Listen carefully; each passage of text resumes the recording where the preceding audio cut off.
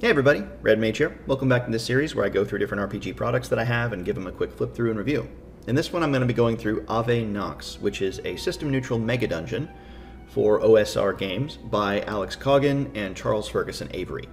This is uh, the file 1.0 of the kick, for the Kickstarter backers. It just came out.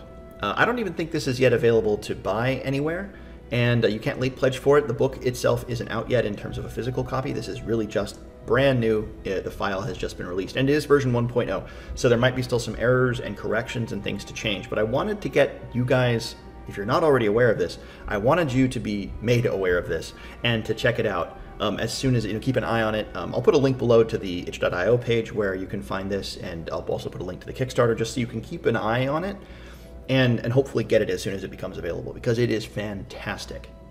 If you know Into the Wyrd and Wild, Into the Cess and Citadel, which is what Alex and Charles have done before, then you'll know that this, and if you like those products, then you'll really like this because it is dark, it is grotesque, but it's also brilliant and it's got these really evocative ideas.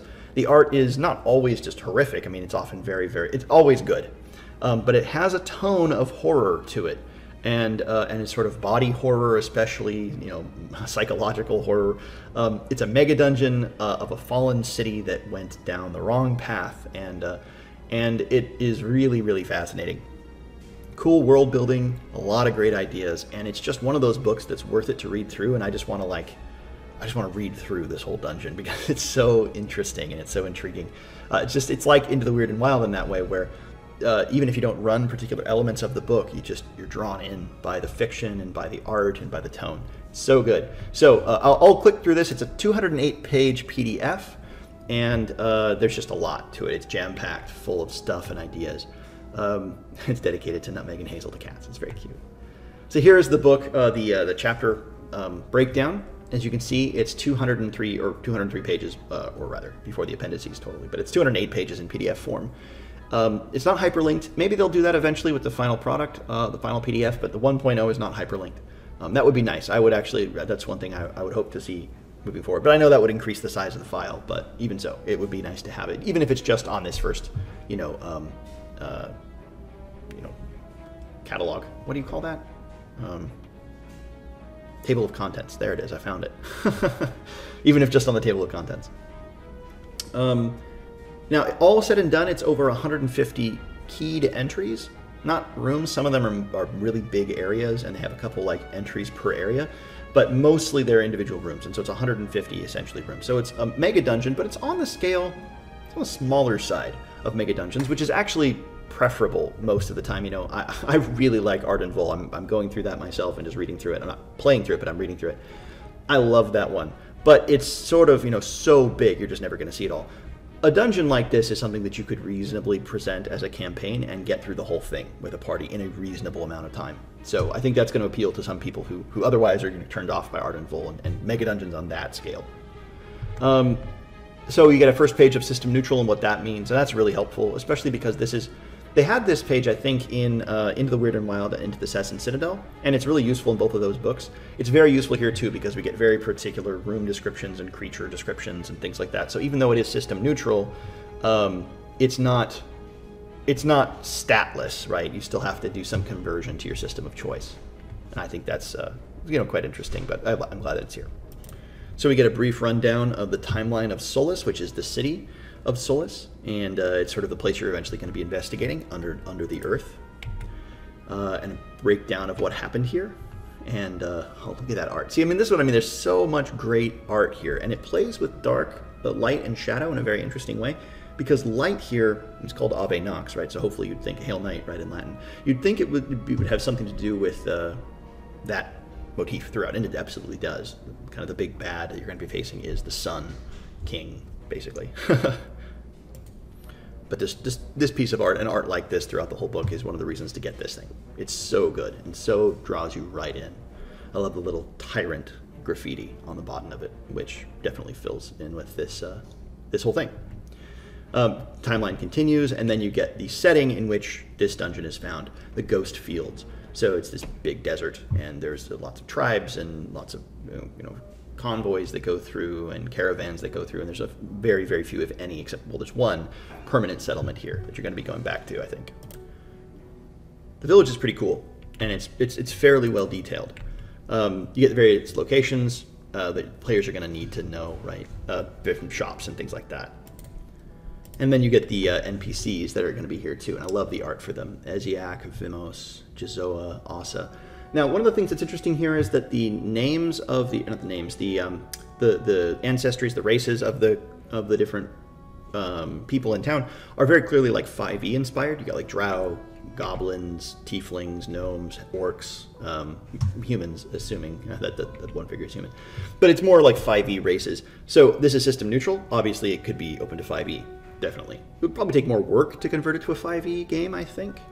Um, but for any OSR game, it's going to fit right in. You could change, obviously, the races of the creatures if you want to fit them into your world in, in an easier way. But there's a sort of, again, an implied setting here, and it's more broad in its um, in its scope in terms of the races and things like that. You get random locals uh, and the merchants and what they might be selling and what they might want in terms of going back and selling to them. I think that's really cool.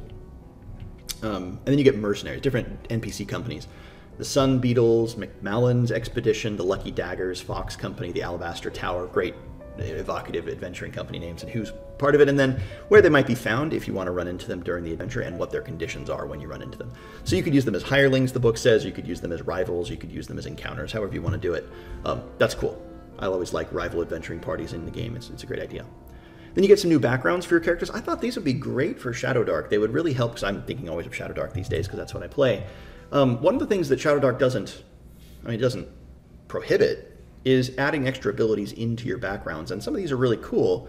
They're they're they're very um, easy in a lot of ways. I mean, they're very minor but in the one specific case, they're pretty good. So like the begrudging spelunker is can see in low light for up to 10 minutes. That's pretty good. Your eyes sort of adjust there. Or can carry double the amount of remains, the loathsome grave robber. So maybe uh, you know every other remain that you considered you're holding don't count in your inventory in the Shadowdark terms. Whatever you do, these would be pretty easy to convert. In other words, to to really really any OSR game, but I think Shadowdark would be easy um, with these. The Exiled Descendant, the Desperate Fool.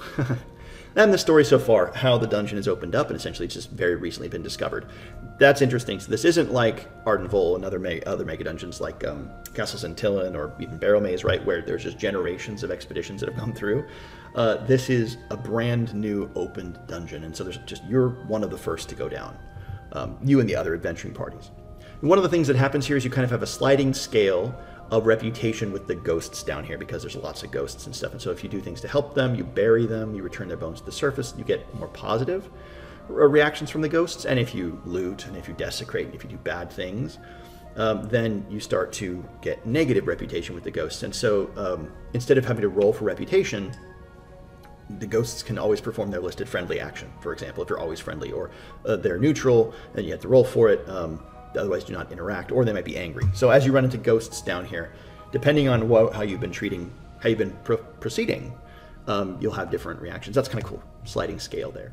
Gas lines is an interesting idea. So the technology of the city had powered gas lines, and so you have lights, but there's you know um, you could break the gas line and then fill things with you know gas that can't live. Anything can kill you if you try to breathe it um, broken gas lines and how to interact with that. So it's interesting um, and igniting it, right? You can you could use that to your advantage if you if you figure out how to do that. Uh, but you'd also be very careful. It's a cool element to the dungeon, and, and e- each of the areas will have notes about the gas lines there if they're open or if they're intact or broken, whatever it is. Get some extra particular kinds of locks throughout the dungeon and some special features that you can find throughout, like the locks, the pipe merchant, which is great. You bang on a pipe, and eventually this guy comes through a, vent, and you can sell and buy from him what is he? He's kind of weird. Feels very video gamey, but I love it, and it's very flavorful. I like it a lot. Um, and then uh, Uikul's hand mirror, or Uikul. Um, if you find these pieces, you can put it together, and the magic item gets stronger. If you put them all together, you let it out. it's real bad, but it's really cool. I like this uh, kind of idea, of building this magic item as you go through the dungeon. Overview of the hex on the surface and where the entrances are and then the first descent, the dungeon itself. And this is how it's laid out. I really like the maps. Now, they're not frequent enough for my tastes. And so far, there isn't a map book that I've gotten. There's no map PDFs, have them separately. You just have to do a lot of flipping. And because nothing's hyperlinked, you can't do it quickly. So that is one thing that I, I, I would probably change. or I would like to see as a, a map book or hyperlinking or again more frequent maps. I don't think they'll change that element because that would probably change the whole layout of the book. But there is a lot of flipping. You have to maybe if you're going to open up, uh, what I would do is open up multiple files and keep the maps open as you go through. But you get the first level and how it's laid out here. Um, there, there is some issues in terms of layout here. Like, so for example, um, you see that A, B, and C are all listed on the map. B is on the other page in the PDF. It'd be nice to have it as a spread. You just have to click back and forth just to even see the names there. Um, but that's okay. It's not the end of the world, obviously, right? Um, just there, there are some things that are just it's not the it's not the it's not my favorite layout in terms of maps and dungeon that I've ever seen. It's it's totally okay. It's not a big deal, but for a mega dungeon, you really want to think about you know, making it as easy as possible for um, flipping back to maps and for not having to flip back and all that stuff. And it, it just, it, there's a lot of that going on. So, you know, really a quibble compared to how cool the, the rest of the book is. But I think it is, um, it's worth noting. Again, what I would do is I would just have an, a separate file open if I were going to run this online and, uh, and just keep that file of the maps open as I play. Uh, you get the, the descriptions of the rooms themselves, and they're laid out quite well with bolding and with uh, you know um, side information put in in a very clear way, you know, set off to the side at times. And really great. Man, just the descriptions of these places is so evocative and cool. A2, the creation mosaic. I'll read through this. Light catches a wall of glittering glass tiles. Covering the wall and stretching dozens of paces wide is a mosaic of beatific images of a sun headed figure overseeing a city. The enormous mural depicts the following scenes a larger than life Solaris Rex pointing to a darkened and swirling sky surrounded by panicked mortals.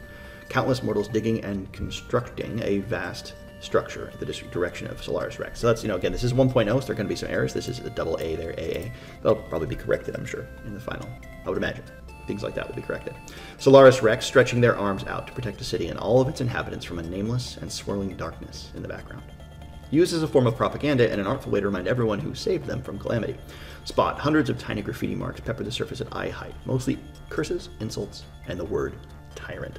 So this one creation mosaic, this one image here, gives you a ton of information about the background of this place, about the political, if you will, connections between the factions, and uh, of the surviving NPCs, what their relation might be to Solaris Rex and to each other. So there's this view of a savior, lord, but then other people see him as tyrant and, and villain. And you have sort of a, I don't know, a, uh, a uh, this reminds me of like what do they call that Soviet um, mural? The, the impressive brutalist like propaganda that they would put on. It just reminds me a little bit of that. that that sort of over the top uh, thing. And I guess you see it with like you know the, the ancient Egyptians too. It very much brings that to mind. Uh, but anyway, really cool, really really cool here, um, and I think it makes a lot of sense terrifying art as well. And that's another thing you're going to get as you go down deeper and deeper and deeper is more and more horrifying things. There's the Summer Cult, which is this, uh, you know, active faction in the dungeon. One thing I wish they would have put earlier on is maybe like a faction breakdown because you kind of have to pick it up as you go.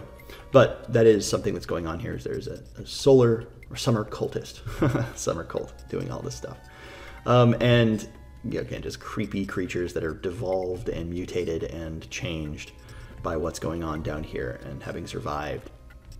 There's a little bit of science in here rather than just magic.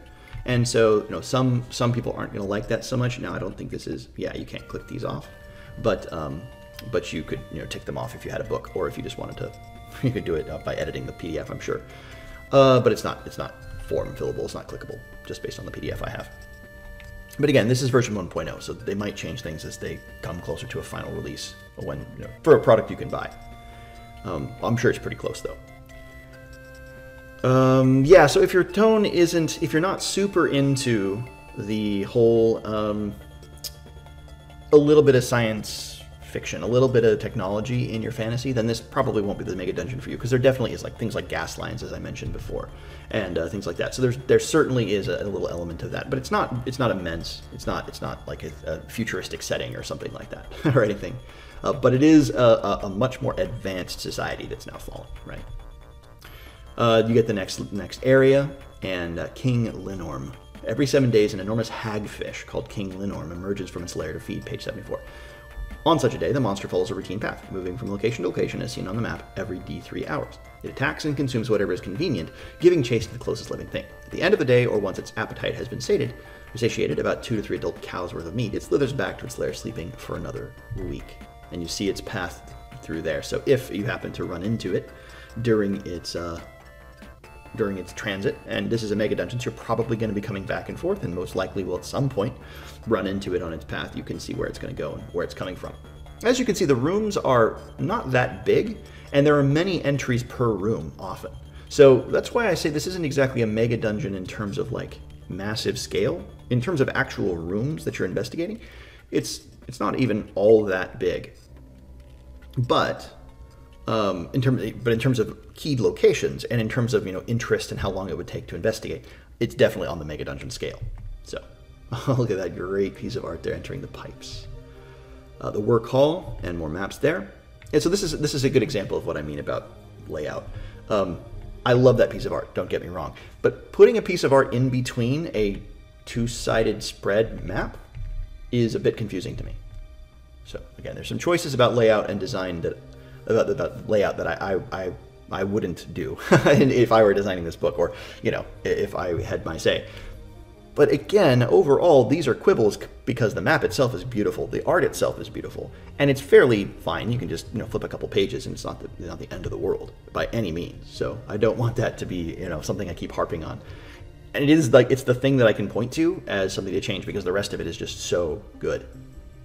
Um, the work hall, again, these creepy creatures. They, are like things out of a, a, really dark Ghibli, right? That's kind of how I think of them, or something like that. Like the darkest side of Studio Ghibli, Knife Man. The creatures here are, are very bizarre. This is certainly coming out of a tradition of certain kinds of dungeons that are way more really dark. I mean, like you're going down into the, like, you know, this is evil and it's twisted and it's really nightmarish and that's kind of what you're getting the further down you go into this dungeon is more and more nightmarish things. Um, that's that's not to say that it's not well actually perhaps because of that it's incredibly um, like it draws you in right? It draws you in. I love this right here by the way. So you see the transition of the mural right? It's like oh yeah it's all nice and it's all growing and then and then you see the room. And it's like overgrown and creepy and you don't want to go in there, right? so I, that's the sort of whole place. Is there's an element of brightness and majesty, and then you go in and it's horrible. Um, but there's great ideas about fungus creatures in here. There's the fishery hall with the uh, the hagfish, and uh, if you want to go down here and fight the hagfish, you can't definitely can. But King Linnorm is tough, 20 hit dice, so you're looking at a very tough fight in terms of any old school game. It's such a great piece of art there. I love that storage hall and ledger room, the drying barn you're moving back through, the wet storage the pickles are. a creature living in the jar screams its name as it leaps out to make a surprise attack. Pickles are edible. Fermento. Horrid creature with the body of a hagfish but face and limbs of a toddler. Ugh. Creepy. Water tanks. The freight lift with a solar guard.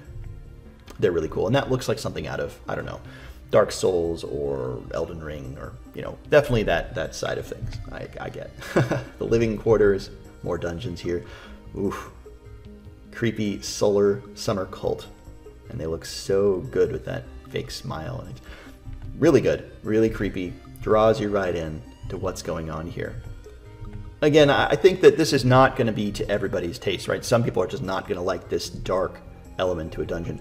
I'm not sure I'm ever going to run this, I have to be honest, because I don't. I mean, I like reading this, but it leaves me like kind of creeped out. And I, my players are certainly not in this. They're not in this mood for long enough to play a mega dungeon. Like sometimes some of my players really like elements of this sort of stuff, this sort of creepy, this sort of nightmarish stuff.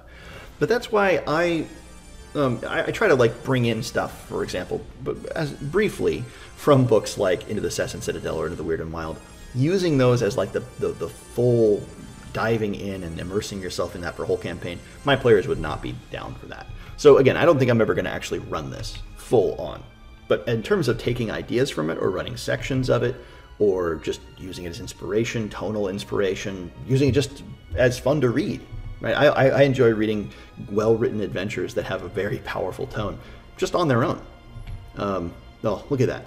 That's the eyes in the dark. A pair of disembodied eyes float before a wall of creeping darkness. Their centers burn with a cold hate. That's creepy. I love it. I love it, but it's real creepy. And there's lots of really good ideas for monsters in here, too. Again, if you just want to take this book as inspiration. Oh, yeah, the Obsidian Mirror. Uh, lying on the ground is the broken remains of Oikul's hand mirror. That's the, the magic item mentioned at the first page. So you can only see his reflection in the mirror. And so as you put more of the parts of the mirror, the more fractured, the fragmented pieces back together, you can see more and more of him. Yeah, really cool. Great idea. Uh, as you get down further and further, obviously, as I said, things get darker and darker, but in a way, they also get brighter and brighter because you start to deal with the actual um, king, Solaris Rex. So you're going through kind of like the, the, the you know, the broken pits and the, the ruined sections of the city and all that stuff. But eventually, you get to the um, the court of the king himself, and then it's all very different. It's not this sort of rebellion against him. It's like the, the last remnants of his tyranny creepy mutants here. Oh, and then the thin one. This is a really creepy guy. He can become, if you do the right thing, if you know what you're doing, you can make him into your companion, into a loyal henchman, basically. Which is really creepy. to have a sadistic, immortal, ghoulish henchman who's very loyal to you. Hmm, but you can do it. Um, look at that piece of art. Oh my goodness, I love that.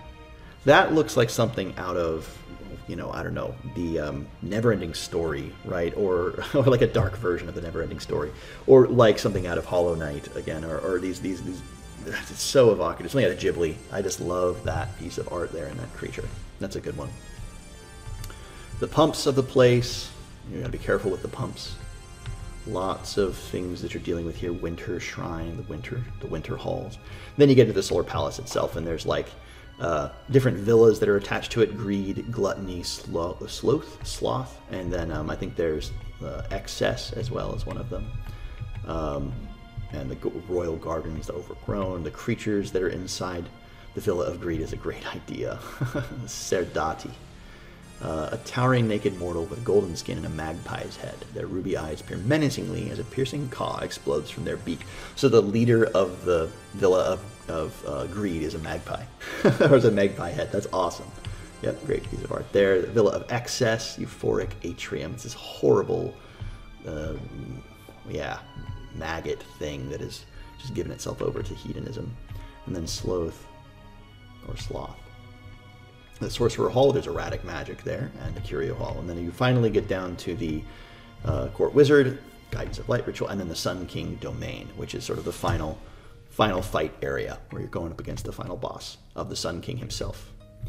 Um, a zealous many. A misshapen skeleton constructed of mismatched bones and adorned with a battered sun mask made of hammered bronze. It's a great idea. And then the throne, the solar sanctum, child of the new sun, and Solaris Rex, the Sun King. He's a tough, tough fight if you're going to fight him straight up. He's got gifts of fire, resurgence, regenerates up to 100 hit points, um, up to five times per day if he's one of the four. So just heal up to 100 hit points five times per day. Maybe you can only use each once. Either way, that's really hard as an attack. So this guy's going to be almost impossible to kill if you fight him straight up, I think. so you're to have to find a way to destroy him. But he's like a god king, right? He's like a demigod, so it makes sense that he'd be very, very, very hard to fight. And once you destroy him, then the thing that's powering him can appear and offer you a deal. And if you don't take the deal, bad stuff happens to the uh, the region. Then you get the, cutaway of Solus, which is, as you can see, as a mega dungeon, it's pretty small, right? You've got the four levels done the one way, you've got the Solar Palace and the Solar Sanctum on the other. It's very much pretty linear in that way. Gas line status, where they are, you can keep track of it as you go through, which is pretty cool, and a breakdown of all the different rooms. And that's it for the whole PDF. So I think Ave Nox is a fantastic mega dungeon in terms of its tone and its its flavor, in terms of its layout. There are problems with the maps and with the hyperlinks and things like that, which I wish you know were there, or you know were, were slightly different. But it's just really equivalent with the the consistency, the coherency of this of this book as a gosh, as a tonal piece, as a mega dungeon. If you're into the, if you and your party are into the, you know, Dark Souls, Elder, Elden Ring, um, into the weird and wild, into the Assassin Citadel style horror behind things. Uh, with a little bit of whimsy in there. I mean, like there's some funny things that are like dark humor is definitely a part of this too. If you're into that in the party, then you're just gonna love this mega dungeon. But if it's if it's not your bag, if it's not your party's bag, they're not gonna want to spend this much time in kind of that level of horror, then or that level of kind of grotesque, you know, uh, dungeony stuff. Um, then I still think that I still think this is a great book in terms of inspiration and in terms of just fun reading. So I highly recommend you guys check it out. Uh, again, it's not something you can get right now, but I'll put links below to where you can keep an eye on it. And if it's the sort of thing that interests you, again, um, you should you should definitely pick it up. All right, guys. Well, I hope this has been interesting, and I'll see you all in another one.